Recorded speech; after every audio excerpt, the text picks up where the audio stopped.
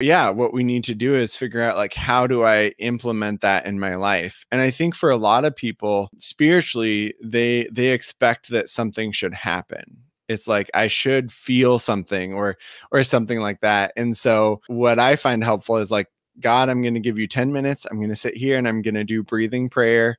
Um, and i'm not going to expect to feel a certain way which again parallels totally with like meditation and mindfulness right but taking that time to say this is important to me it doesn't have to feel any particular way it's just about me doing the rhythm of it yeah and you do find over time that then in the moments when you feel chaotic and overwhelmed, you're like, I can reach for this relationship in a way that maybe I wasn't like as available to me before. 365 days, but I treat every day like it's my last. I'm only concerned with building on the future, cause I can't change my past. Positive vibes for positive lives. She just giving you that truth and shifting your mind. It's more mental than you realize. It's up to you to take control, cause this world is cold and negativity gon' take its toll. Now we've been told any day could be your last. I'm embracing every moment and I cherish every laugh, every smile, every hug, every kiss, every touch, every person in my life that I care about and love. But wait. Maybe I'm getting emotional. That's exactly what they say you ain't supposed to do. Suppress your feelings, never talk about your pain. Can't appreciate the sun without acknowledging it rains, right? That's right. So this a moment of clarity. And make sure you always protect your energy. You stay focused and your life gon' be lit. And you are now rocking with Celeste, the therapist. Let's go. So, hi, beautiful people. If you've never been in here before, thank you for being here. Uh, my name is Celeste. I'm a therapist from Boston. I come on, I talk to people who are doing things to empower the lives of others through sharing their story. And the goal behind this podcast is to help you shift the way you think. So, before we get started, I wanted to tell you about two things. So, the first thing I wanted to tell you about is this community that I have created called Shifting the Way You Think. It's a three month membership based community designed to move you forward with creating life changes that's going to stick. And the goal behind this is to give you information in small doses. So there's going to be weekly homework, homework assignments, video. Uh, sent straight to your phone or email. Uh, every month, there's going to be a live class with questions and answers and some how to practical steps to guide you along the way. Currently, there are two classes. The first class is Healing the Inner Child. Uh, and the second class is all about love. Uh, both of those classes are really powerful.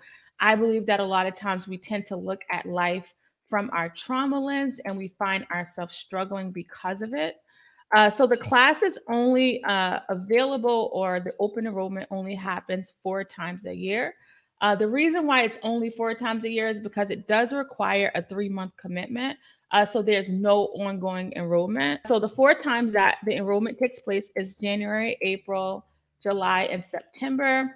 And these are the two books that we uh, are coming from, uh, depending on which class you decide to take. The first one is Healing the Inner Child, and the second one is called All About Love. Uh, so those are the two that are available for for you to be a part of.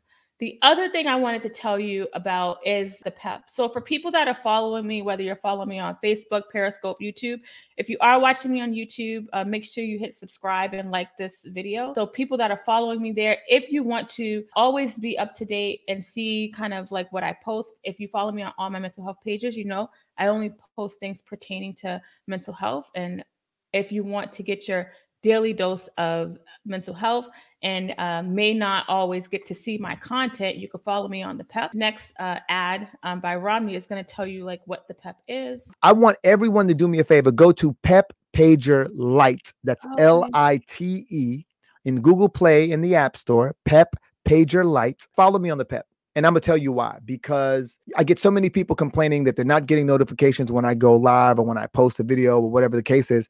I decided I would just notify myself. So I created a notification app called the PEP. If you, it's called PEP Pager Lite, L-I-T-E. If you want to see what a what a black man's app looks like, go to Google Play or the App Store and download it.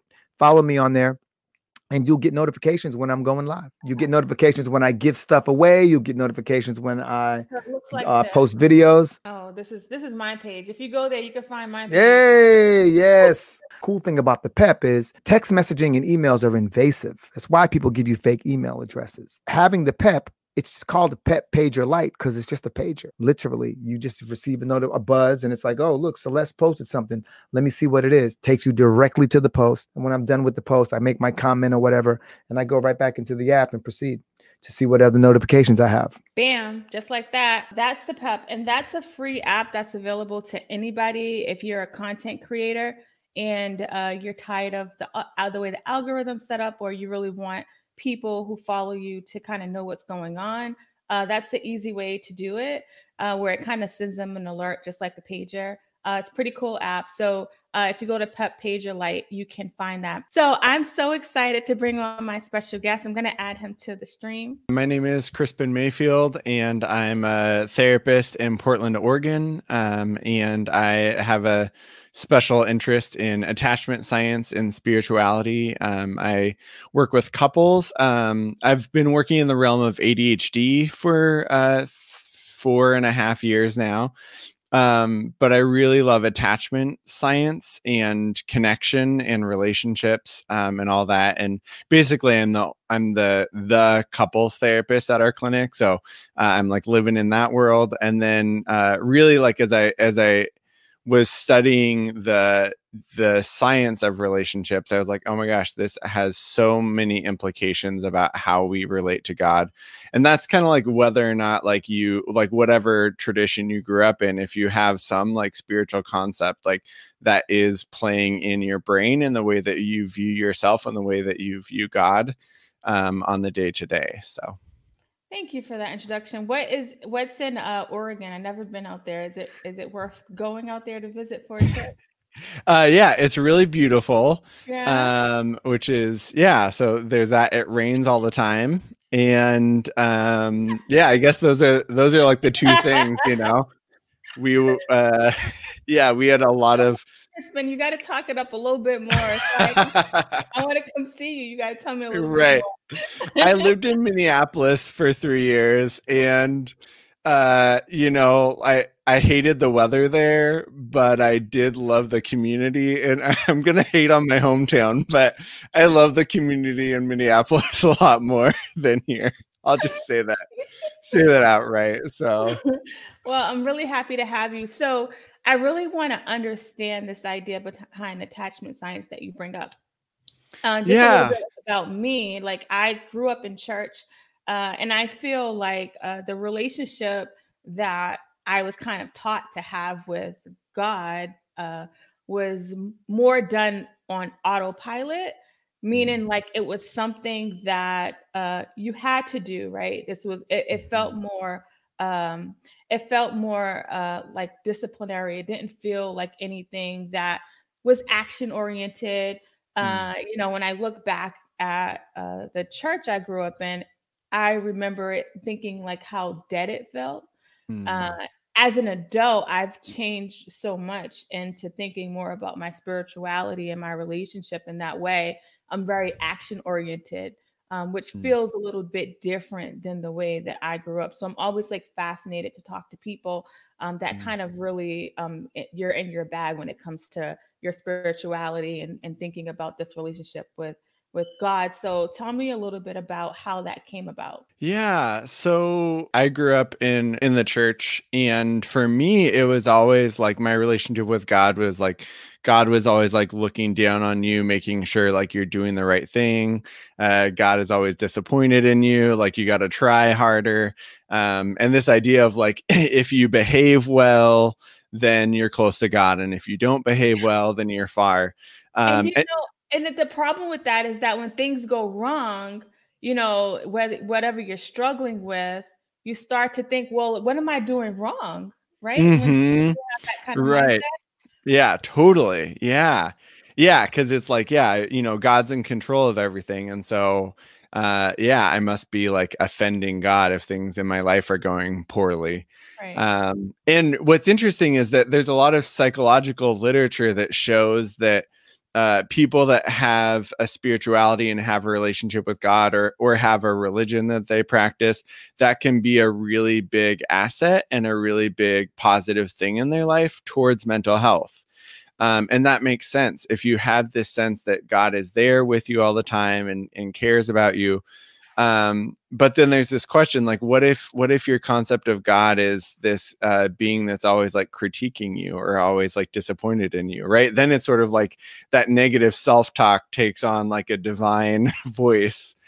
Um and so and that was my experience was like it wasn't like god was like a, a positive thing in my life. Uh and i mean god was in my life and i went to bible college i was going to be a pastor um and it really was only in the last few years of reading attachment science that i'm like oh my gosh the way that I relate to God is is dysfunctional, um, and, and, the way that I was taught to relate to God. Um, and really, what we can look at is like so, just a quick rundown on attachment science. Um, it was in the 1950s that Dr. John Bowlby uh, started to look at orphans and kids that were separated from their parents, and and he's like, hey, uh, when kids are separated from their parents, uh, they get really upset and they really like mentally decline in their mental health. Um, and up until that point, it just was thought like uh, kids just need like they need you know shelter and they need food um, and what he was saying is actually kids need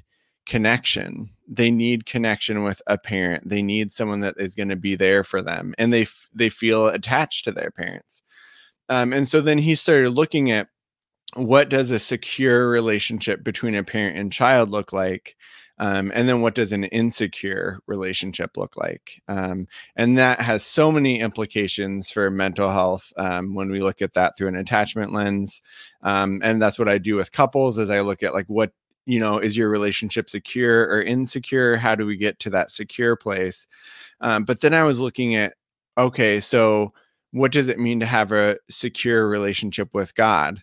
So, kids that feel secure in their relationship, they know, right? Mom and dad might be upset with me about doing this or that, but I know that like I can still come to them if I need them. I can count on them, right? It's not like it's not like I'm going to do the wrong thing and then my my dad doesn't talk to me for 2 days, right? That's traumatizing. Um, but but a kid that knows like i i don't really need to worry like i might screw up sometimes uh, but but my parent is always there for me and i can rest and i can relax.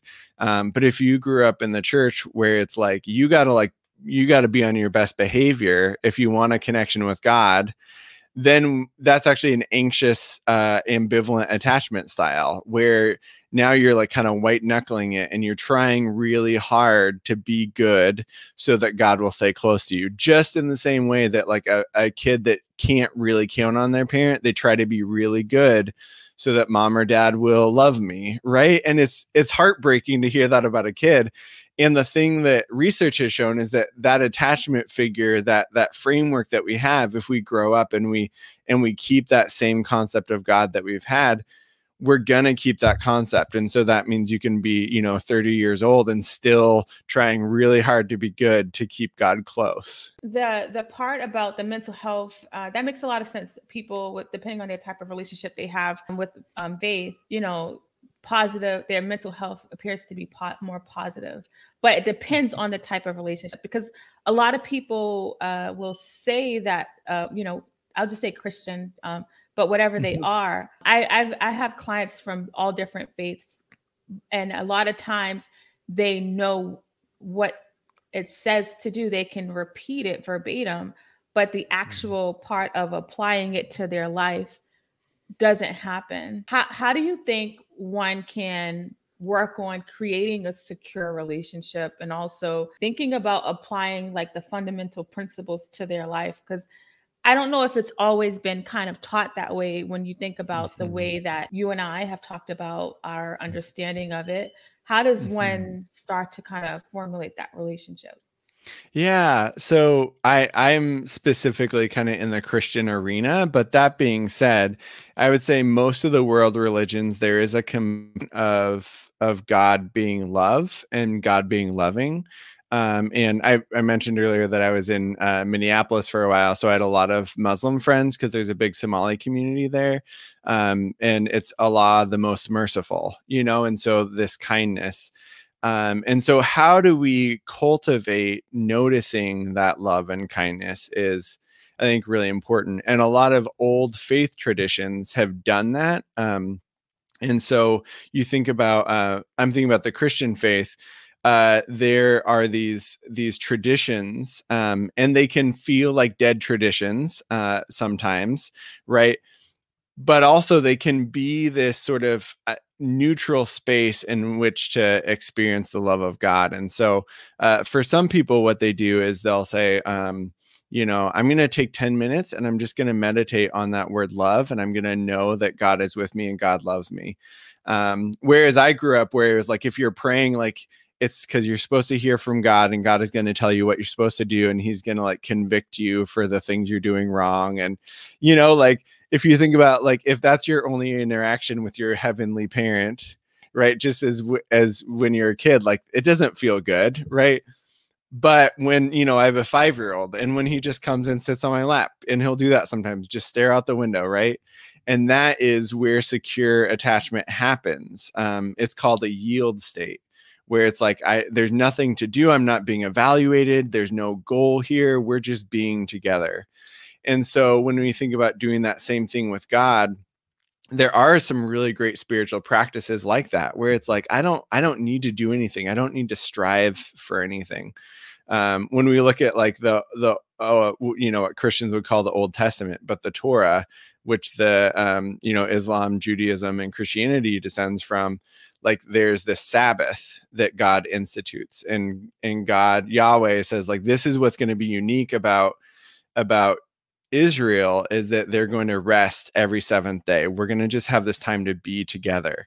Um, and that actually fits totally with attachment to say, like, we need a place where we can just be present um, and let our minds rest. And, you know, if you've been around mental health very long, you're like, hey, that sounds like mindfulness and meditation. And I think that's basically like, I'm not saying that that is not true, but I, it, there's a reason that these things fit together. And so having that time to just, be present um, and and so much of the church tradition can be such a good like sensory holding environment for that. So uh, being and being with your community and singing songs together um, those sorts of things when you can tie that to this is what love of uh, you know relationship with god is like then that can be such a positive thing. If it's connected to negative self talk where you're like criticizing yourself all the time, then that's not so helpful. Yeah, that's really good. The whole mindfulness, everything that I talk about, it actually comes from my uh, the fundamentals of the way that I've learned, you know, about um, God because mm-hmm. I took it a step further and decided to apply it to my life. Right, mm-hmm. uh, this idea of um, being still and um, you know the mindfulness piece allows me to mm-hmm. renew my mind and my spirit and so many times i tell people when you're struggling spiritually uh, and it doesn't have to be about it, any extreme religion but when you're struggling inside you got to ask yourself what are you actually doing on a day-to-day basis because a lot of it the framework on how we live our life tends mm-hmm. to happen internally so if i'm starting mm-hmm. my day on social media or um, arguing with somebody about politics or whatever it is, mm-hmm. why wouldn't I feel so upside down inside? Right. Mm-hmm. But if I take time to process like the things that have taken place over the day, then I can allow that stuff to be released. Right. Mm-hmm. And it, mm-hmm. th- these are the things that are literally um, in most uh, religions, right, about mm-hmm. the stillness. Um, right. But we don't apply it to our life. we just don't. What are your thoughts about that? Yeah, definitely. I would say even for me, like the pandemic has been a time to be like, you know, this is the time I got to start in like I have the time to do the things that I've always said I should be doing. And I think what's great is that if you can find a practice that works for you where you feel peace, then it's it shifts from like here's this exercise or whatever I'm supposed to do to like this is actually a place I can find rest and peace. Mm-hmm. And I mean going back to that attachment part part of an attachment figure that person you feel connected to that parent that caregiver is they are a refuge for you in a chaotic world. So they're the person that when you need comfort and when you need stillness, you can go back to them and connect. Mm-hmm. But yeah, what we need to do is figure out like how do I implement that in my life? And I think for a lot of people spiritually, they they expect that something should happen it's like i should feel something or or something like that and so what i find helpful is like god i'm going to give you 10 minutes. I'm going to sit here and i'm going to do breathing prayer. Um, and i'm not going to expect to feel a certain way which again parallels totally with like meditation and mindfulness right? But taking that time to say this is important to me it doesn't have to feel any particular way. It's just about me doing the rhythm of it. Yes. and you do find over time that then in the moments when you feel chaotic and overwhelmed you're like i can reach for this relationship in a way that maybe i wasn't like as available to me before Yes, and it, it's about you know the rhythm and the cadence of it because Mhm. eventually your mind and body has no other choice but to fall in line with the things that you're doing, right? So initially, Mhm. it may not you may not feel anything; it may feel pointless, um, but you're Mhm. trying to introduce a new concept. Uh, one of the questions is a really good question: is um, do you do we see people dropping off the traditional religion spectrum? What do you think about that? yeah that's a it's such a big Great question Yes. You want me my start or you got this? You got this, Krispin. Let's Well, you got this. let let me tell you uh, what I what I see. I mean, I'm I'm in a particular. Uh, I was I was telling Celeste, you know, I have an evangelical background, um, and that you know word means a lot of things. as long as um, you're not calling angels from Africa, Krispin. right. Well, and that's the thing is, I I see people. Um, I I would say like the like the the Christianity of evangelicalism uh, is white Christian nationalism, and so I think people are seeing that clearer and clearer, and like uh, you know Trump being elected and Christians identifying with him. I've just seen more and more people be like, I just I can't do this. Um, you know, I you I don't. saying that the evangelical uh, is is related to like um, related to like white supremacy, or it just happens to be that a lot of evangelical Christians are white supremacists? well, when I say like white supremacy, I think of uh, particularly like uh, the, like a racialized society. So I don't necessarily mean like uh, KKK, but I mean like um, people like Dave Ramsey uh, would be a great example. He, you know, is an evangelical, and he's like, people are poor because uh, they're lazy, and so if there are groups of people in the U.S. that are that are poor, more poor than others, they must just be lazy um, and that sort of thing. And actually, there's this book called Divided by Faith, uh, excellent uh, study in 2000 looking at evangelicals and their belief, whether or not they believe systemic racism exists. Um, and what they found is that um, that w- these like kind of tight knit evangelical churches, they all held this like pretty uh, like Republican ide- conservative ideology which meant that they didn't know anyone that had a different experience than them. So they didn't have a frame of reference for like, oh, maybe the world is different than it is for like white middle class men. Um, and then, but it self perpetuates. And it's actually because they have the strength of their faith and the strength of their community. We could put that in sort of a positive way of like they have had a tight knit community so they were less likely to like hang out with a coworker because i'm just going to have a barbecue with my bible study. But then you end up with this really limited view and and what it, the study showed was that these white evangelicals were way less um, likely than their other white counterparts to believe in systemic racism. And uh, uh, there's a new book called white too long that just came out that kind of like Right? up Too long. white too long yeah uh, that updates that research and, and goes over that but um but yeah that's that's really um and and and along i mean yeah there there's there's a lot there um but yeah i mean christianity uh in the us has always been tied up with like our white supremacist uh founding. So that, that's a that's a uh, my my wife actually wrote i mean there are so many authors. The cross and the lynching tree is one of my favorite uh, books on race and Christianity in the U.S. Um, but I will say that my wife wrote a book You called say your wife. What? Tell us about your wife. What she do? You got. yeah. So she she she wrote a book called uh, "The Myth of the American Dream" that came out this last year. Um, it, you know, talking about uh, evangelicalism, uh, white evangelicals, and how their uh, the values of Jesus is, uh, you know, he says, you know, I came to poor to came to minister to the poor, the oppressed, uh, those in prison, um, those that are sick, um, and yet white Christianity in America has has valued just the opposite, like power, uh, you know, wealth, uh, those sorts of things. So I'll do a little plug for her book, but um, yeah, I mean, we're we're talking about attachment and faith, but no, we, I gotta have her on now because that yeah. sounds really. It's so interesting how we, um, you know, claim to be Christian based country, but mm-hmm. the things of of the Bible are completely not right. Yeah yeah. So that's so interesting. Yeah. Uh-huh. her.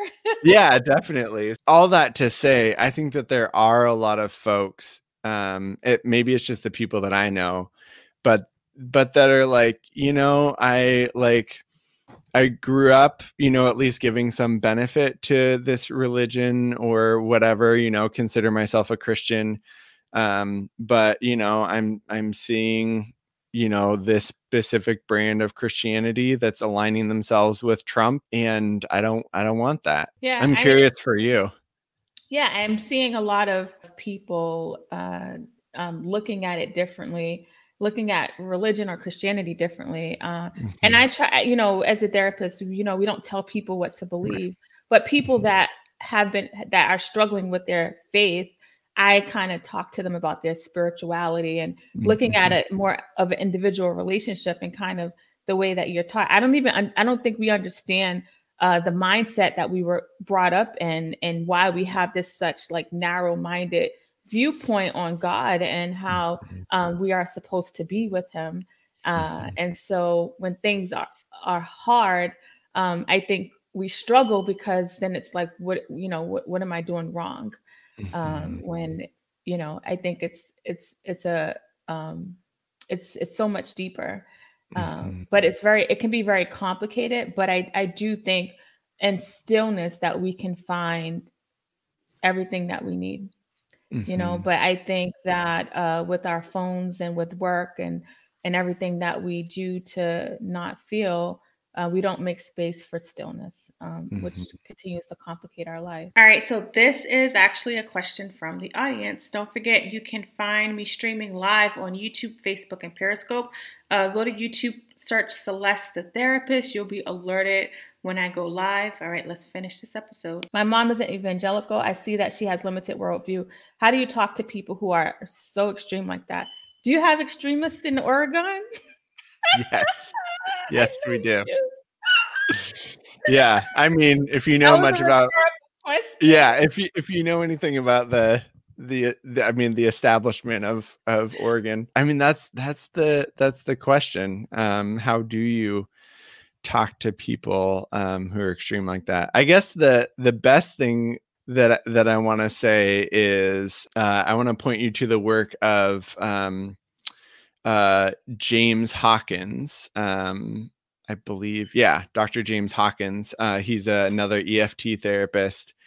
Um, and he and his colleague are talking about how to have conversations um, across the political aisle. Um, Doc, Dr. Hawkins is black, his colleague is white, and they're talking about how do we talk about race together um, and they're using a therapy model in emotionally focused therapy to like how do we have these conversations um, so i'll i'll totally get you a link to some of his stuff and we can put that in there um, I don't know if I'm just like passing the buck, but uh, it's it's it's really hard. Uh, the only the the way the thing that I've done in my personal life when it comes to the the evangelicals that I know is I try to find the book that is gonna change their mind a little bit or the movie that's gonna change their mind a little bit and then you know maybe even watch it together right so you know can we mm. watch just mercy together and talk about talk about the movie right, right. or can we read this book together and and talk about it as we go? And because i think it's through story that things change and you know we're we're creatures that love story and so i mean i think that there's a lot to be said for like setting boundaries and saying like this isn't this isn't okay or like this doesn't match up to what you say your faith believes or whatever it is but what i've also found is at the end like those things it just um people can't hear it so it's i think it's legitimate to say those things but it's not effective often yeah um, and they um can't hear it because of what you said earlier when you are only based in your community you have a very li- limited mm-hmm. view on people that are outside of you know right. What you know to be true mm-hmm. and um and another advice i would just kind of give is for people that are struggling with people in their lives that with these extreme viewpoints is remembering that uh, a conversation can't change however old they are years of experience. Uh, mm-hmm. So trying not to uh, get too emotionally involved in it uh, mm-hmm. because you know it's um, it can be draining and taxing taxing on your mental health. Uh, so it's mm-hmm. important to really remind yourself that you know it takes time um, for mm-hmm. people to kind of change. Yeah, um, yeah. I just want to add in there. Uh, I have a friend who, another therapist who talks about her name's Connie Baker, and she talks about how um, you kind of have to like run the logistics in your head about like what's the likelihood I'm going to change? Am I going to change this person? How important is this person to me? How much energy is this going to take? You know, am I going to spend? I mean, this is me. Am I going to spend all morning fighting with my wife's great uncle on Facebook and then not be able to be present for my clients in the way that I want to? or am I going to be like, you know what? Like, the, he's going to believe what he's going to believe and i'm not going to spend to i'm not going to i'm going to figure out where can i spend my energy. Um and it's not i think it's not a question of like you know especially i would say like as as someone of like with certain power and privilege like i need to be thinking about like how am i working towards justice? But yeah. am i doing it on facebook or am i looking at like what are ways in portland that we can that i can uh, invest in making sure that mental health is more equitable mm-hmm. you mm-hmm. know and That's I think good. the second one is more important. so. It is right. It is. I tell people that you know, social media is social media, and um, mm-hmm. People are doing work outside of social media. And speaking of that, you know, uh, the pandemic happens, you know, mm-hmm. everything gets shut down. But then in the middle of the pandemic, there's this uh, really overt racism that we start to see in mm-hmm. uh, in the U.S. Mm-hmm. Tell me about because I know you took a break from your podcast around that time. Um, when you came mm-hmm. back on the episode, you kind of talked about uh, you really wanted to kind of focus on um, mm-hmm. Portland. Oregon, right? Right. So yeah. What, what happened in your mind or in your life during this time? Yeah, I think. I mean, I think for one, um, just I wanted to take a break because uh, the there was just a lot of other things that um, I think that I thought were worth listening to and and uh, working through, and then yeah, just personally um, figuring out like what what that looks like. Um, I'm part of a I'm part of like the generally white evangelical community in Portland. Um, and so my wife and I, and my my wife is uh, an author um, and speaker, and so we're talking about like how do we, yeah, w- what's our role here, um, and and how do we what do we do? So I, one of the things that we did was um, so you know downtown Portland, uh, obviously known for protests. Um, my wife and I went down there a few times and also just tried to figure out like how do we yeah I, I guess one answer was like our EFT community, our therapy uh, community. We were trying to talk about like what does equity look like. Um, and for couples therapists you know typically we just charge $120 a session cash uh, and if that's true then you know who are the clients we're going to be able to see? And if those are the clients that you know that can shell out 500 bucks a, a um, month for therapy like then what's the if you don't have access to that sort of community for your pool pool of clients then who are we going to be able to invite into our eft community mm-hmm. so uh, having conversations like that, um, which was, yeah, our our EFT community was really proactive, which I appreciated. Um, but then protests, um, and then just in the church community, um, and how, how for Danielle and I, my wife and I, like how are we how do we support leaders of color that are doing things? um and and then also like how can we in our the community we came from how can we be a, a voice i guess uh, for justice? And so one of the things that we did was we went uh, downtown and we protested this worship event uh, by uh, Sean Feucht. So this uh, white dude from uh, Bethel comes in and he's like, there are riots in Portland, but we're going to bring revival. And so um, people from the suburbs came in uh, to have this worship event. Um, and most people weren't wearing masks. and and we're like this isn't the way that that justice comes right? This is like dr king talks about the negative peace and this is a negative peace here. This is like saying like if we just pray and worship like then the riots will go away. But you know first of all it wasn't riots. And secondly if you're praying for protesters to go away like are you you know but not actually wanting to see the injustice go away like what are you doing here so my wife and i went down um, and held signs mine said like repent with me of white supremacy um, and my wife's uh, had a verse that basically uh, is from the old testament where god says like I don't want to hear your noisy songs. Like I want to see justice roll down, you know, like water. Like I want to actually see like real change. Um, and then yeah, going down there, and it was like it's people we knew. It's like people we went to church with that are down there worshiping, and we're like holding our signs, and so, you know. Um, and we're just like, this is, you know, talking through with people like this is really pr- problematic, and this isn't the way that we move forward. But I will say, it's like it's it's uh, it's emotionally uh, taxing, and I mean, I'm a white dude, so I don't have to tell that to you. No, like I know, I know. but you know, it's just it really is it's it's it's a hard place to live and things find an equilibrium for a while and then something happens and it's like, yeah, uh, you know. So, for people listening, it sounds like you've decided to kind of talk to the, your community. And I tell people all the time the way, like, we're going to change uh, racism, a lot of it's going to, especially for people that are allies, it's going to be you talking to your community because you they know you best. Uh, and and I think that you know one conversation at a time uh, is Mm-hmm. gonna um, help kind of like break up some of that stuff that's going on uh, Mhm. and and even like within your own family, like all of Mm. that stuff. I think it matters. Uh, it's, and a lot of people like, I want what what can I do? I want to do more, and I'm like, that is a huge start. Like that Mhm. friction that you like to be having this sign and against people that you kind of grew up with or know really well. Um, that's a I think that's a huge a huge step into the right direction. Yeah, I mean, I just feel like there's I feel like we're we want to be a part of the movement in whatever way possible, but Mhm.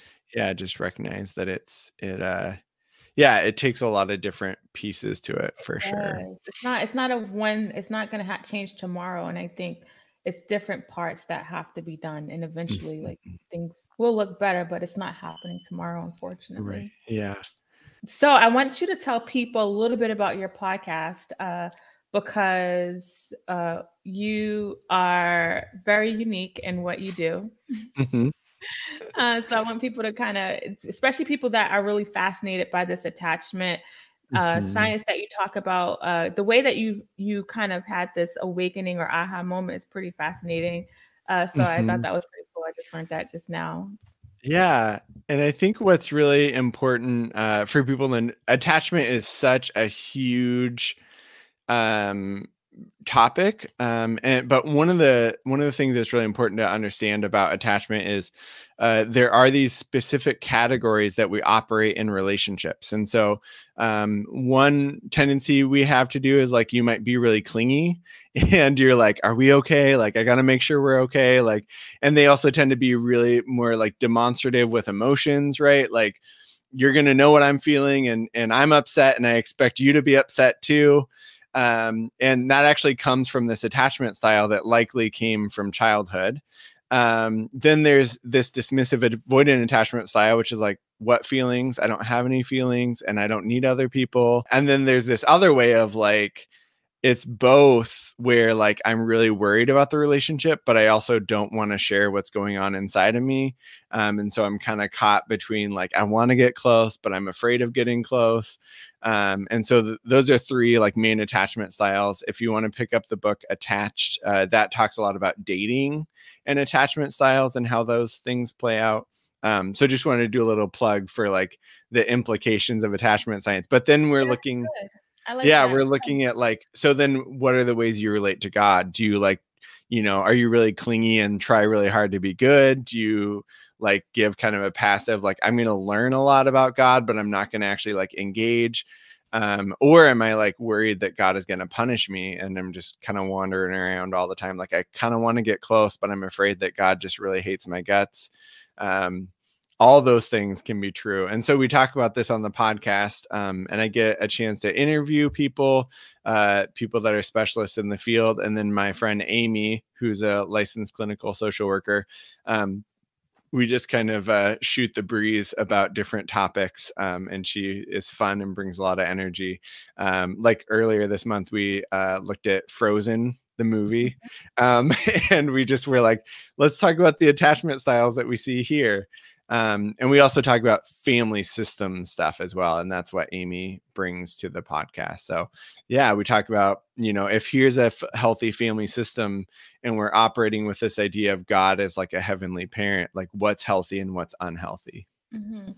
That's good. Thank you for kind of breaking down that attachment. Uh, and I, I think a lot of people don't even recognize consciously that how they are operating. So just kind of that little two minute thing you just did kind of mm-hmm. kind of alerts people a little bit and shakes them up and like and whether we're talking right. about their relationship with god or their children or mm-hmm. their history all of it uh i think that it it all um it it all matters so that we can start to kind of change we have to understand what is it that we're working with and so mm-hmm. many of us are working with a long history of trauma and of I, I, say emotional injury, a, book of adult children of emotionally immature parents. Mm-hmm. Um, a, a, psychologist who wrote it, I can't think of her name, but she talks about this emotional injury. And so when we have a mm. physical injury, it's easier to remember or to to say out loud than that emotional injury. And I think with the attachment styles,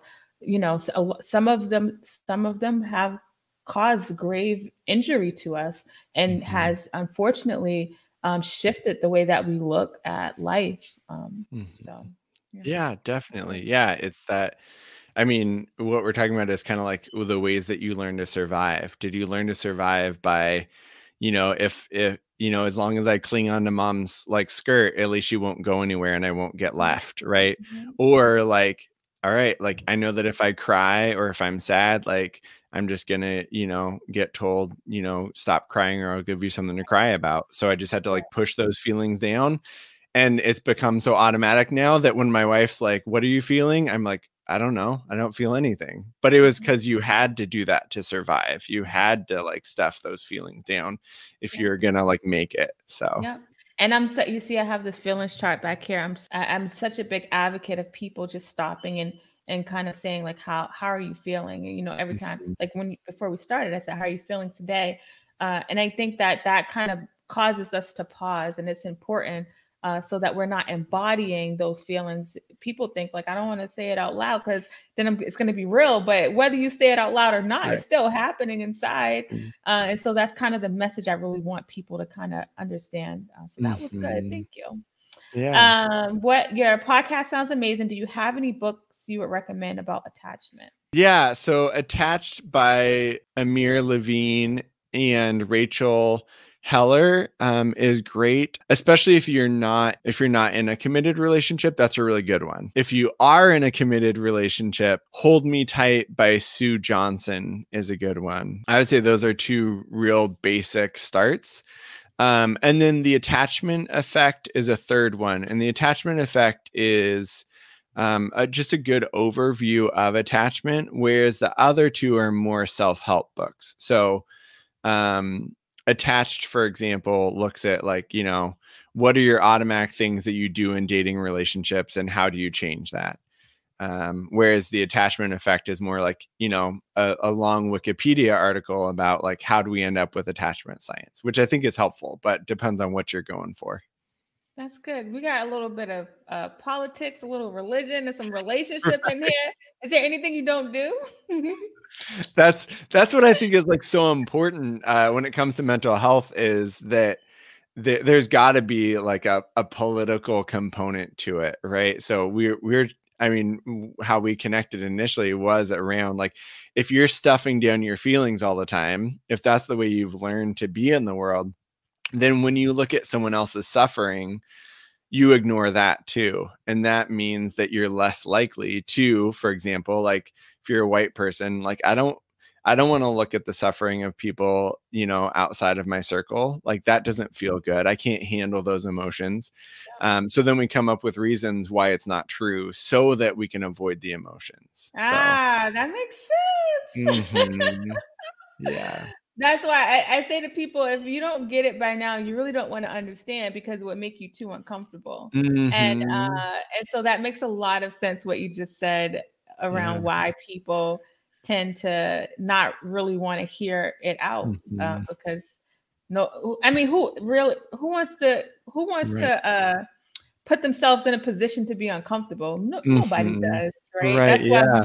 Why not outside of racism and in general we don't right. want to feel like anything that causes mm-hmm. us discomfort so it, it makes right. sense right mm-hmm. yeah yeah but yeah if we have if we grew up with a secure attachment where it's like if i'm sad if i'm scared if i'm stressed out like i can go to my parent and they're going to be there with me that actually builds that emotional resilience that i don't get so overwhelmed so i like to think that you know people that are like oh, I don't have any feelings, whatever it is. Really, like they're just scared inside. They're scared of feeling their feelings, you know. know so, that. which gives me like some empathy yeah, uh, for them. I, am like, I can't imagine being numb or or saying like I don't feel. You do feel. You're human. You're not a robot. Right. Yeah. And so I'm just like, wow, you're walking not feeling. That has mm-hmm. to be mm-hmm. hard. Right. It has to yeah. be hard because your emotions are going to take over and show up in different aspects of your life. Mm-hmm. And I'm sure you yeah. see it a lot in relationships. Oh my gosh. I, yeah, I early on in my career, I did domestic violence treatment for men. And they would say, like, oh, women are so emotional. And I'm like, what do you think got you here? like, what the hell are you talking about? Anyway. Yeah. See, now we're talking. We're talking I know we're gonna hit it all. Yeah. No, but it really does have these these implications um, that go forward, and and really a lot of it is like emotional intelligence, right? Like, what am I feeling? And and and com- noticing like what am I feeling? What am I thinking? Um, and when all those things are just automatically going on in the back of our brain then then we do things that that aren't compassionate or we we end up just trying to survive in these ways that hurt us and hurt others so. Good. yeah so pick up a book on attachment today. Krispin this was good uh, i appreciate you taking time coming out and um, sharing your wide range of knowledge to my audience. You guys can also check out his website. He has space where you can um, type in your email to get the newsletter. He sends out really mm-hmm. thought. Are you writing it or your wife's writing it? Because it's really well I'm I, I'm writing it. We have we have different okay. writing styles. We try to collaborate sometimes. It doesn't go well. it's really well. It really like shifts me a little bit. I I enjoy uh when you put them out. So definitely yeah. um, stay connected with him there. He's active on Twitter and Instagram. Uh, mm-hmm. Uh, anything else you want to tell the people before you go? I don't think so. Um, yeah, I mean, I guess the one thing I would be remiss to not talk about my other podcast since we got into talking about politics. I do have a podcast with my wife uh, called the Prophetic Imagination Station, and that doesn't have so much to do with uh, psychology, but we we look at uh, media like evangelical media and from our childhood and we try to understand like so how how did we get from like growing up with this to like 81% of our community voting for Trump? So that's kind of our our thing. So uh, right now we're going through the chronicles of narnia and looking at like you know what's there and um and reviewing that because that was something that we grew up with. But looking now where we're at like is this something that's still helpful? Is it something we should keep around? So, but it hits on some of the themes we talked about today. So I was like, you know, got to mention that too. Oh, yeah, and I'll put that in the show notes. And I and I think you know with the whole media and film, a lot of the way that we think about life, a lot of mm-hmm. it's related to what we kind of were exposed to growing up. So exactly, especially yeah. when it comes to relationships, um, mm-hmm. um, you know, I think that um, so that's good. I'm going to make sure to put that All in right. there. Yeah. Well, thank you so much. I really appreciate you having me on, and I love your show. And uh, yeah, I, you know, I just I was you see me like putting it out on Twitter sometimes because I I'm just really glad that it exists. So yeah, it's great. Well, thanks so much. You, uh, and tell your wife I'm going to be reaching out to her. Don't hide right. her from me I do want to uh, talk about that book. All right, sounds good. That'd be great. Bye, Krispin. All right, thank you. Bye. Uh, that was amazing. Uh, I uh, connected with him on Twitter and I started following his stuff, and I really enjoy it. Uh, he's a really good follow. Uh, so he has two podcasts, uh, and if you go to his website, krispinmayfield.com, you'll be able to find both. and then, um, if you're listening to this on the audio, you can just click on it in the show notes if anything we ever say kind of resonates for you, like whether I'm um, whoever I'm talking to in this specific case, uh, we're talking, we talked about different things. Don't just stop here. You know, don't like really start to uh, work on being intentional about your changes.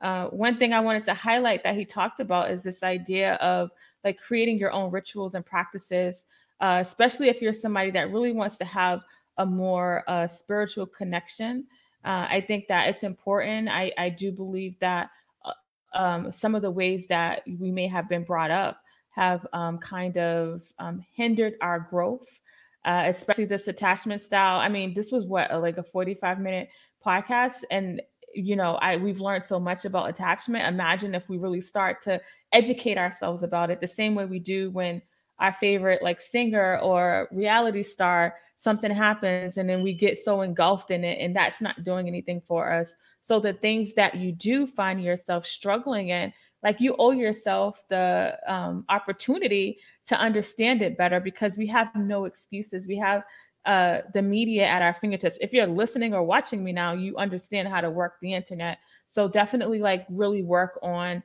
being intentional about looking at um, what you can do to help create changes in your life. So if you are watching me on YouTube, uh, make sure you like and subscribe. If you're watching me on Facebook, share, Periscope, share. Find me on, on celestetherapist.com. You can find me there. You can find me on all social media platforms. If you want to uh, be a guest on the show, email me info at celestetherapist.com. And until next time, I'll talk to you. Smile, every hug, every kiss, every touch, every person in my life that I care about and love. Wait. Maybe I'm emotional. That's exactly what they say you ain't supposed to do.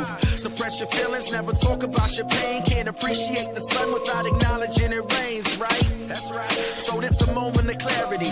And make sure you always protect your energy. You stay focused and your life gon' be lit. And you are now rocking with Celeste the therapist.